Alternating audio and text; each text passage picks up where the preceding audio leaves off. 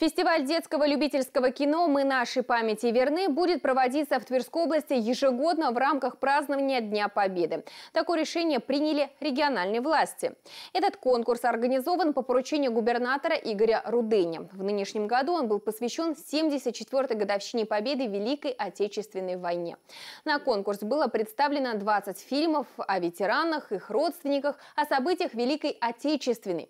Фестиваль объединил представителей детских любителей любительских и школьных киностудий и творческих объединений из Твери, Балагоя, Нелидова, Удомли, Вышневолодского, Калининского и Конаковского районов.